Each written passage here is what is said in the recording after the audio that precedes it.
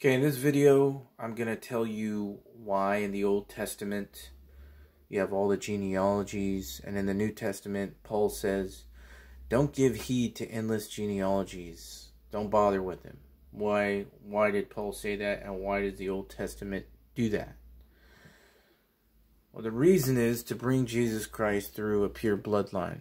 Now, the only way you're going to understand that is if you understand that the bloodline of Adam and Eve, that there, there there's two bloodlines. Okay? The seed of the woman and the seed of the serpent in Genesis 3:15. If you don't accept that truth, then your Bible makes absolutely no sense. You'll never get it. Period. You're going to say, "Oh, look at all these genealogies all throughout the Old Testament." In the New Testament, Paul says, "Don't bother with it. There's no genealogies in the New Testament. It's done with. It was all to bring Christ through." The seed of the woman, not the seed of the serpent. The serpent means the shining one, the Nakash, the wicked one.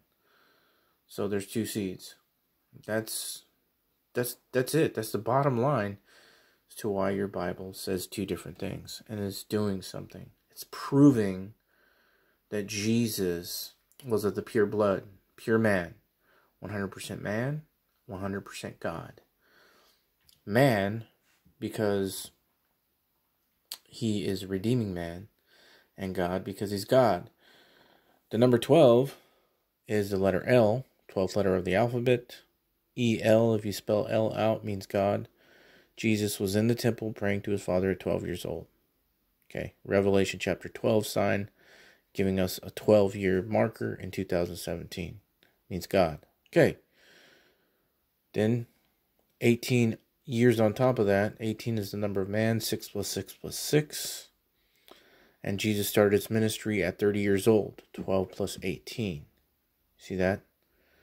Showing that Jesus was fully man, 18, fully God, number 12. Then he starts his ministry at 30, add them together. That's the whole reason. It's not about the bloodline for the people. God wasn't like, oh, yeah, I'm going to, you know, the the people are secondary. It was Christ first. That's the whole reason for the bloodline. So he had to redeem man. So he had to be a pure man. And you'll never come to the full knowledge of the truth unless you accept Genesis 3:15 for what it says.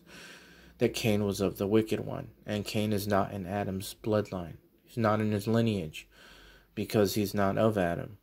He's of the wicked one. And that's the bottom line. That's why your Bible does that. In the Old Testament, genealogies galore. In the New Testament, you won't find them. And even Paul says, don't bother with them. Because Christ has already come through. The whole mission was to bring Christ through a pure bloodline. So, that's that.